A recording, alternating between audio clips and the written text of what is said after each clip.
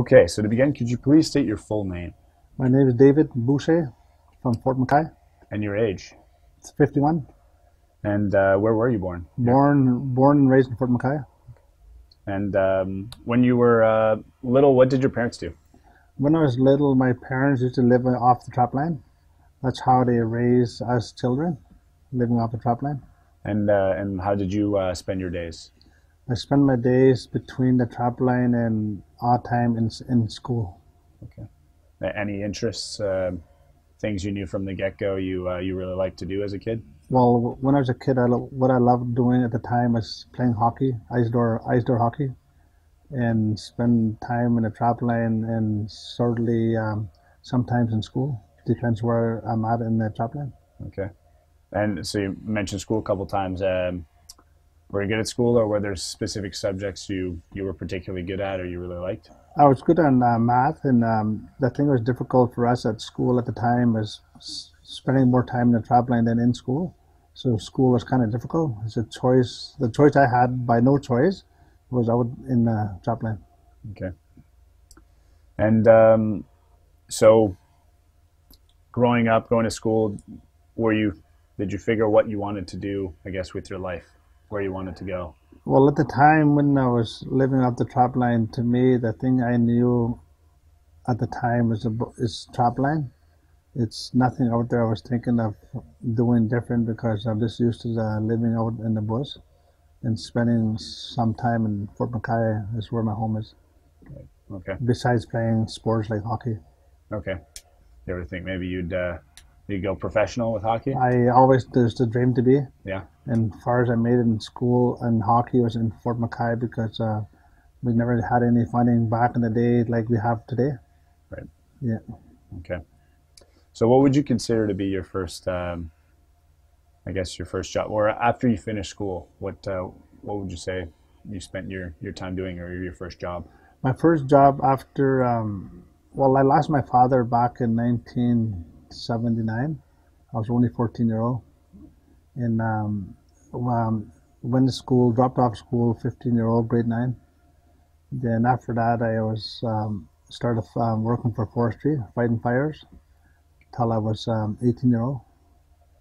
Then after I turned 18 year old, I got my first job at the plants, Syncrude, as an equipment operator for Syncrude. Spent for four years working for Syncrude. Okay. And as um, I actually interviewed the ex CEO of Syncrude, uh, Eric Newell. Yeah, yeah. Um, so so when you st- first started working for Syncrude, looking back, had you ever, I guess, there must have already been an existing relationship with the oil sands industries or certain companies around here in Fort McKay. Yeah, like see, when I started Syncrude, I started off in a low level running equipment. Then um, spent four years there for Syncrude. Then move on to work for another contractor on Syncrude site. It's a First Nation company, and worked seven years for them, running equipment. Then um, one day I got an offer, a job from Fort McKay, group of companies, the First Nations I'm from. They offered me a job as a supervisor looking after one of their jobs in in the new mine that's called Albian Sands. Then I worked my way up from there as a supervisor and and I managed one of the companies at Albian for Fort McKay and the civil heavy equipment side of it. We used to do around probably about fifteen million dollars a month. I was I was doing business at Fort McKay at, at the Albian side. Okay. And uh, what, um, I guess, what pushed you to start eventually your own company? Well, after I did 10 years with Fort McKay, I had my company very small at the time, and I had a cousin, a cousin family running my business. Like I had one piece of equipment. Then um, that one piece of equipment grow into five piece equipment. It started in 97, 98. By 1999, 2000, I had four or five piece equipment. Then, um, then I, then me and Nicole went in full full time with our companies. We had to resign our jobs where we were working four hours with McKay, and Nicole was a Shell, and run our business 100% in 2004. Then that's where we kind of grow the company from when we Okay. started our company full time. Now, for someone who comes, let's say, who's listening to this and is completely outside of Fort McKay, Fort, Fort McMurray, the industry, what does uh, Bouchier do? What does your company do? Our company does a lot of civil work, a lot of road maintenance. We're involved in uh, facility maintenance. We have contracts in five different sites, like Kearl and CNRL, Suncor Fort Hills, RMWB, the city of Fort McMurray, and Suncor Firebag. Okay.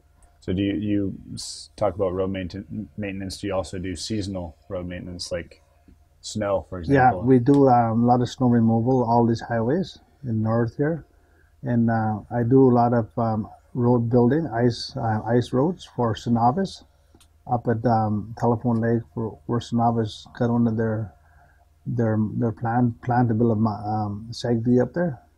So I do their uh, winter drilling um, roads every year for the last past ten years. Okay. I saw a sign coming in uh, saying it was proudly the roads were proudly maintained by Yeah. Bouchier, and uh, coming in you, you could see uh, they're pretty nice. Yeah, pretty Right nice, yeah. all all sanded. Yeah. yeah, Yeah, yeah. we make sure we take pride in our work, especially when you see the Bouchier signs along the highway. And it's our signs. We've got to make sure we deliver the service and keep the road safe.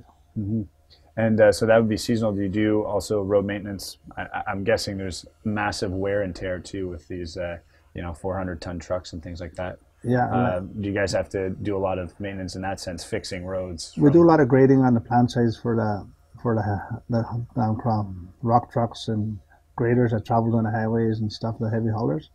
So we maintain the roads on the plant sites and keep it safe there. And when it rains or when it's dry, it's always got to be grading. Yeah. And uh, so throughout your career, what would you say has been your most, um, I guess, the difficult part of it or a difficult project you've worked on? The difficult, probably the difficult part was when we first started our business. I mean, um, that was tough. And I mean, running your own business is you got to put in 100% of your time. It's not like you um, just come and go when you want. I remember not sleeping for three days at one time because of just trying to be, just trying to be one of those contractors delivery service. If I know I'm there on the field, I know um, the work gets done. I remember one night I was living in Fort McMurray, driving home from CNRL into Fort McMurray, driving down a highway, it's 100 kilometers speed limit. I was doing only 80, just drained out and tired from working three days straight without sleeping. And I mean, um, it was very tough. It's tough to run your own business now. Like I say, you got to be part of it. Right. Yeah, for sure. Um, have you had, now knowing success, looking back, would you consider having had a mentor throughout your life? Well, the mentor for me is probably um, just to see in the past of my parents I was brought up with. My father, when I was, I was 14, see what he done in the time. He's uh, do similar thing, run equipment.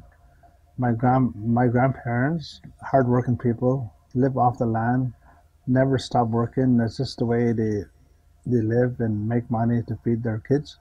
And to me, I come from a family that's very strong and loves working and back in those days we don't have computers like what they have today so there's no time for sitting there and playing computer games or telephones or just texting stuff that we don't have back in the days just work work Right. So they, they, they taught you a great work ethic. yeah even when i was with fort mckay group of companies i had a guy named jim carberry he was my ceo of the company at fort mckay he mentored me very much how to run a business and he gave me an opportunity to take this ball and run with it and uh, had this opportunity to be a mentor from for him that gave me a chance and um, i used to run big business for them at fort mckay at albian site Just this. Good? You're good? yeah good. Okay, so um, when you began your career, uh, whether that was, we can even start with firefighting, things like that, uh, but then with the, uh, especially with the oil sands industry, how present or absent were Indigenous people in the workplace? Uh, and did that change through time? You know that that part is always there. I mean, Fort McKay is in a location in the heart of the oil sands. I mean, after uh, probably the late '80s, trap, trapping kind of went away, and oil sands was there, and that's the only way that the, the people in the community of Fort McKay could feed their children is working in the oil sands, and more people in the community started working in the oil sands just to to live to live their lives in a in a in a good way. Because back in the day, it was just only off the land, and um, that kind of went away a bit because of the market of the fur. The market of the fur is not there anymore like it used to be. Yeah, you said it was around the '80s where that kind of changed. It's really. kind of changed, yeah. Did was there was there a lot of animosity between um, your your First Nations and your oil sand industries, or did that was it kind of like a good transition? It was a good transition because, um, like our Fort McKay First Nation got lots back in the oil sands just to be part of that and working with the oil, oil companies, and everybody won win from that. So it's a win-win for both sides, and gives um, our community more more job opportunities for the people that that stays in the community. Okay. And did you play um, a role? I guess this company as well, but did you play a role in linking indigenous communities um, or groups with specific um, industries? Well, I was um, consular in Fort McKay for eight eight years, and um, I was involved with um, other First Nations making agreements with Fort McKay when I was involved with Fort McKay. So um, yeah, no, it's I was involved in quite a bit of that, and and of course with industry itself. Right. Yeah. What would you say you're proudest of uh, as work as a counselor? My proudest thing I done for counselor that um, growing up as a kid, I used to shovel outdoor arena in Fort McKay, three feet of snow, five o'clock in the morning, before school starts at nine, with um, with a hand shovel, to make sure the arena is clean for the kids. That's when school's done at four thirty. Everybody just go out and play their hockey game. And um, my job when I was a consul, my my goal was to build an indoor arena, and um, and I, I got that I got that done. I made I made chief and consul agree with me to let's build arena for Fort McKay, and so we did build arena. Before the arena was built, I uh, myself and the wife with our company we bought a zamboni for the McKay arena, and uh, we made sure that zamboni was there before the arena was built, so that um, they have uh, zamboni to work with when the arena was completed. Neat. That was my big goal, and uh, that's huge for us. Good. Yeah. Uh, and and has uh, you mentioned you loved hockey as a kid, but there wasn't that much, I guess, support or popularity for it here or money for it. Is have you seen it grow? Has there been an uptrend? in? Yeah, I mean, like back in uh, my time in the 70s, um, 80s, there were no funding, no sponsors, and I used to use freaking hockey gloves with um, like outdoor gloves. There wasn't hockey gloves because we had no funding, nobody supported us, and um, now today I got children and three boys plays hockey, and all the money. I mean, they have everything they need to play the game, and all the sponsors they get, and uh, it's it's different and I mean it all everything changes for a good reason. And my kids all went to school, all graduated. The three older boys, daughter, and um, back in my day, I didn't have that support, so I didn't finish what they finished today. But I made sure they all went through um, school. At, at that at the time, I had no choice not to be in school. Right because your father's done. Yeah. Yeah. Top of that, living off the land is um, it's different. Yeah. It takes a lot of hard work. Because I mean, if your parents live out off in the land, you have to go and live with them. It's just the way it is. Eh? Back in the day, now like I wouldn't want to see myself put my kids through living off the land because there's nothing there for them now. But we still um, go out there. I got a cabin north of Fort McKay. I got a nice cabin in Fort McKay Reserve, and uh, we go there quite a bit. And I got a nice uh, fishing camp there. Okay. I, yeah, I was going to ask if you still do I live still off the I land a still do off the land yeah. and show my little eight year old what it's about and how I I, I was raised up and uh, continue to show that. I know. Yeah. And where do you live uh, normally? Do you live in Fort McKay or? I got a house in Fort McKay and I got one in Fort McMurray where my kids go to school. Okay. Yeah. And uh, throughout your career, have you any ever joined um, any professional organizations? I mean, we talked about you being counselor of uh, Fort McKay. No, I just sit in boards. At, McKay's got about five boards and I sit in about three boards for them. Okay. And business, business side, one of them is like um, Fort McKay Group companies. And and on three other ones are joint ventures. Okay. Yeah. Ever think of uh, becoming a counselor again, or? I think about it, and um, you know, it's it's um, we're so busy in Bouchier what we do, and it's it's very hard to take on two roles, and uh, I like to focus 100% in in Bouchier. Right. Yeah. Um, now I'll move on to a few, um, I guess, opinion questions. Pretty interesting. Uh, so, do you believe there's a disconnect between the natural resource world and, or, or industries particularly, and Indigenous people? Um, and how has it changed through the decades, if it has or hasn't? To me, I don't see it change a whole lot. I mean, I know with, with all happening around here with the given the pipeline a go ahead.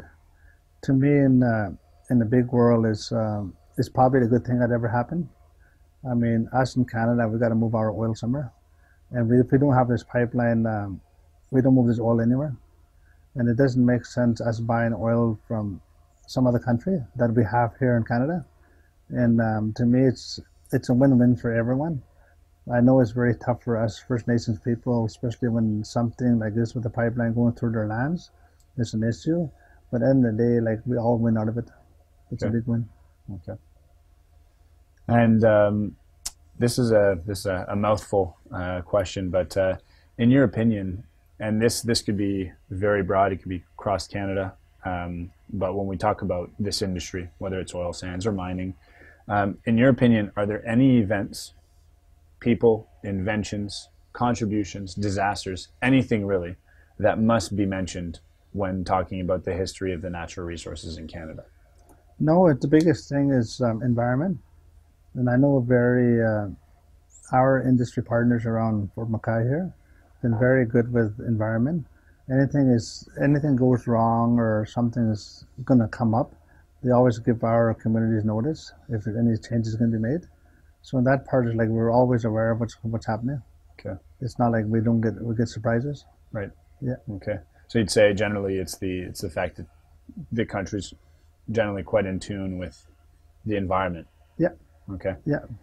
And uh, has that changed with time? Because um, that, that that often comes up in in my other interviews as well. But uh, often the oil sands, for example, especially the oil sands, will get um, criticized, or people picture them as being this very polluting industry, which to some extent it is. Uh, but with time, you also hear of great innovation, Great things and happen. a lot of a lot of uh, reducing a lot of things to help the environment in the oil I mean, for industry. example, like Syncrude, like with their buffaloes, that's a good sign they're they're reclaiming the land, and we have buffaloes there that's owned by Fort McKay, and there's something they're doing there to reclaim the land. They're they're covering their back over whatever they done there, and um, the same thing at CNRL Horizon. They got a they got a lake, their man-made lake, and it's full of fish in there, and it's pretty much is it, it's normal. I mean, environment like back in the day, it's different systems we have now. So when the pollution is getting better, I know it's probably not the, the best, but it's getting it's getting there.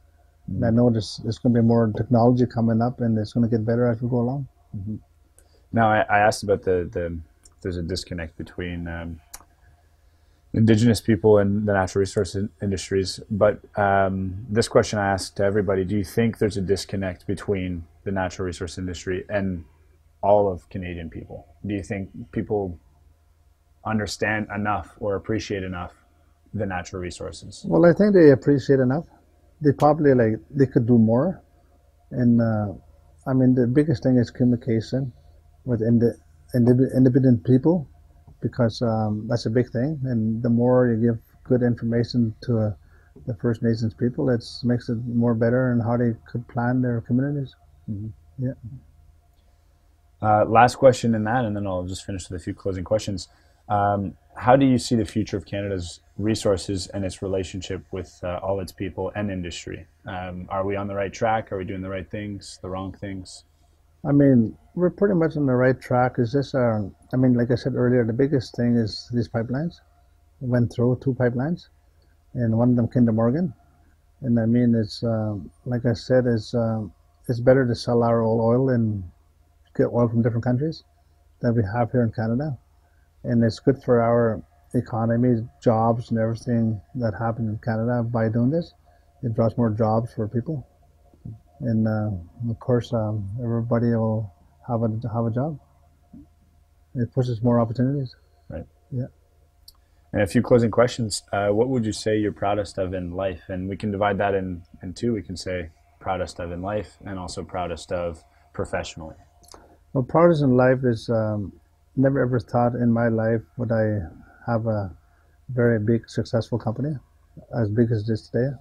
It never it was never ever my business plan, and very proud of what we done. Me and my wife, we accomplished very good stuff, and how many people we employed and feed children, families, in all different provinces, Saskatchewan, BC, and Newfoundland, Nova Scotia.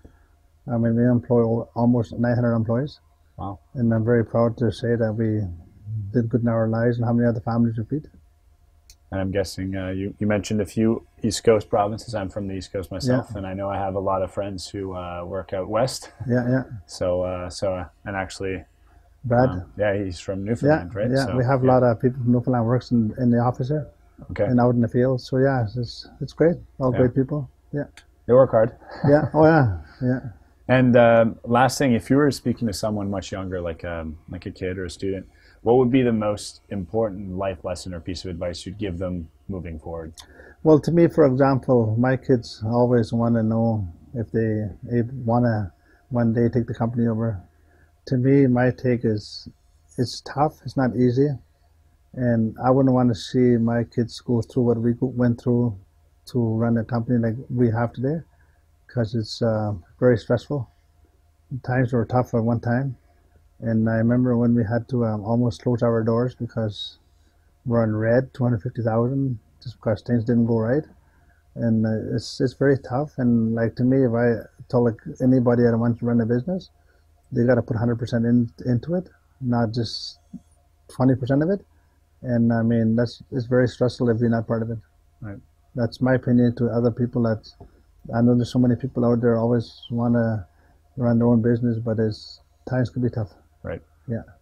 And I was going to ask you, whenever oil, like gas, gas prices are affected, things like that, sometimes you'll see job um, jobs fluctuating uh, in the oil sands industry. Does that often directly affect you guys, or do you still kind of business as usual for you guys? We had our ups and downs. I mean, there's a few times when oil oil prices dropped, like even in 2008, we felt the we felt the pinch. We had to lay off some people at the time. I mean, and everything drops off, and the prices drop, and of course, all, all our market changes. So, uh, and it's tough when you have to lay off your people that's been with you for a while. And uh, yeah, we do feel it. Yeah. Okay. Yeah. Uh, do you have anything else you'd like to add? No, I hope um, I I'm very proud if I could help out with this interview, and it's no, it's great. Good. Well, Yeah. thank you.